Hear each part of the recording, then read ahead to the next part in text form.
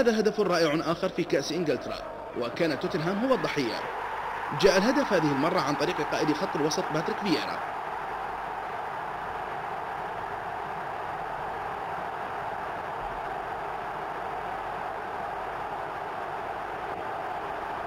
حيث نفذ روبرت بيريز ركلة حرة متقنة وتخلص فييرا من المراقبة وارتقى إلى الأعلى فوق كريس بيري ليحول الكرة برأسه إلى المرمى.